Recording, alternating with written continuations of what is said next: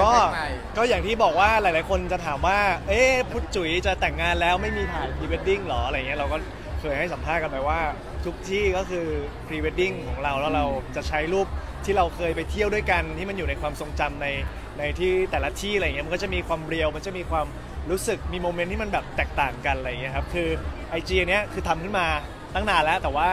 ยังไม่ได้เปิดเป็นแบบเป็นสาธารณะอ่า ใช่แล้วก็ยังไม่ได้ up ภาพอะไรอะไรเงี้ยครับคือสร้าง account ขึ้นมาไว้ก่อน ก็เพื่อที่จะได้แบบลงรูปทุกที่คือพรีเวดดิ้งครับ ย้อนกลับไปย้อนกลับไปวันแรกที่เราคิดว่าจะเอาภาพที่เราไปทุกที่มาเป็นพรีเวดดิ้งมันเกิดขึ้นตอนไหน คือด้วยความที่เวลาเราไปเที่ยวกันอะมันก็จะไม่ได้มีเราสองคนมันก็จะมีแบบเพื่อนจุ๋ยมีเพื่อนเรา มีพี่เป้วิศวะ แล้วทุกคนก็จะมีเดี๋ยวนี้จะมีกล้องถ่ายรูปกันหมด ก็บางคนนอกจากถ่ายวิวธรรมชาติเราก็จะเก็บ moment แบบ moment เราที่มันน่ารักน่ารักอะไรอย่างเงี้ยซึ่งเออมันมีเยอะมาก แล้วเราก็รู้สึกว่าถ้ามันลง IG เราอย่างเดียวอะเดี๋ยวคนตามก็คงจะเลี่ยนแน่ๆก็เลยแบบคุยคุยๆกันว่าเออแบบเหมือนมาถ่ายในในในทริปที่ไปเที่ยวกันอะไรเงี้ยก็จะโดนแซวว่าแบบเออสองคนเหมือนมาถ่ายพรีเวดดิ้งกันเลยเนาะอะไรเงี้ยเราก็เลยเอา concept เนี้ยครับคิดว่าถ้าวันหนึ่งแต่งงานเราก็จะใช้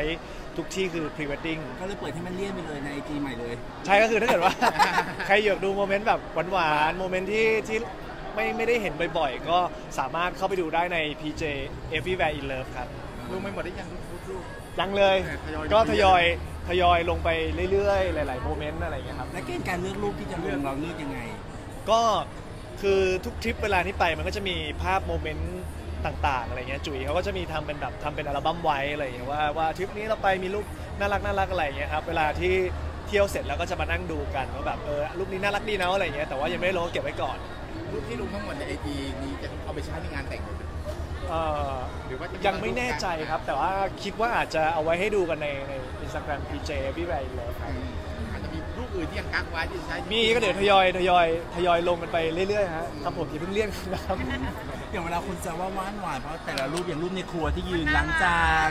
ครับเออเพราะว่าไม่ค่อยเห็นพรีเวดดิ้งอย่างนี้มันก็เป็น moment ที่แบบคืออย่างที่บอกว่ามันมัน real อะครับคือเราไม่ต้องมานั่งแบบเซ็ตเสื้อผ้าหน้าผมอะไรเงี้ยคือเราก็จะธรรมชาติแล้วมันเป็นโมเมนต์ที่ที่เราถูกถูกแบบแคนดิด เออเราก็รู้สึกว่าเออมันมันน่ารักดีก็เลยเก็บรูปนี้เอาไว้อะไรเงี้ยครับครับผมอืมหลายคนแซวว่าอุ้ยหน้าสดก็ยังดูแบบเป๊ะกันทั้งคู่ก็มีบางรูปก็ไม่รอดนะครับเราก็พยายามเลือกที่มันแบบโอเคที่สุดอะไรเงี้ยครับ เออถึงกันต้องแต่งรูปอะไรไหม่พูดคงอาจจะมีแบบปรับแสงบ้างนิดหน่อยในบางรูปอะไรอย่างเงี้ยครับส่วนใหญ่แล้วภาพที่ที่ลงมันก็จะเป็นภาพที่เรียวๆที่เราไปเที่ยวกันอะไรเงี้ยแต่ ก็อาจจะมีภาพที่แบบอยู่ในงานบ้างในอนาคตที่อาจจะทยอยทยอยลงมาให้ได้ดูกัน ก็คือแสดงว่าพอมีงานพองานแต่งงานก็จะเอารูปนั้นก็ไปลงด้วยในไอจีใช่ใช่ครับครับผมก็แฟนคลับบ้านคู่อะไรเงี้ยก็เข้าไปฟินกันในนั้นได้ครับใช่ตอนนี้เราถามเจอกันบ่อยหรือห่างกันมากขึ้นเออช่วงนี้เจอกันบ่อยครับ เพราะว่ามันมันทำบ้านทำเรือนหอด้วย แล้วก็มีต้องเตรียมเรื่องเรื่องงานแต่งงานด้วยอะไรเงี้ยว่างก็ต้องแบบก็ต้องแบบ ไปวางโปรแกรมทำธุระทั้งวันก็เอาให้เสร็จอะไรเงี้ยครับ moment หวานๆของคนน้อยลงทุกทีเพราะต้องยุ่งกันทั้งคู่ก็มีบ้างนะครับ แต่ว่าจะเป็น moment แบบหวานแบบกระเซอะกระเซิงหน่อยเออเพราะว่ามันจะวุ่นวายมากจริงๆครับพอยิ่งแบบใกล้ๆวันมันก็จะยิ่งวุ่นวายมากครับ อย่างนี้เริ่มใช้ชีวิตคู่มันเริ่มเป็นยังไงบ้างต้องปรับตัวขนาดไหน เริ่มต้องไปซื้อของด้วยกันต้องเริ่มถกเถียงกันอย่างเงี้ยตอนนี้มันก็จะเป็นโมเมนต์ที่แบบไปเลือกกระเบื้อง ไปเลือกครัว ไปเลือกของที่แบบที่เราจะต้องแบบตกแต่งบ้านไป ไปดูไปดูงานที่มันแบบเกี่ยวกับแบบห้องนอนห้องน้ำอะไรเงี้ยทุกอย่างเราต้องแบบว่าต้องไปด้วยกัน เพราะว่าสุดท้ายแล้วเราสองคนจะได้ตัดสินใจว่าชอบไม่ชอบอะไรใครชอบอะไรแล้วสุดท้ายแล้วหน้าจการตัดสินใจอยู่ที่เอ่ออยู่ที่จุ๋ยครับ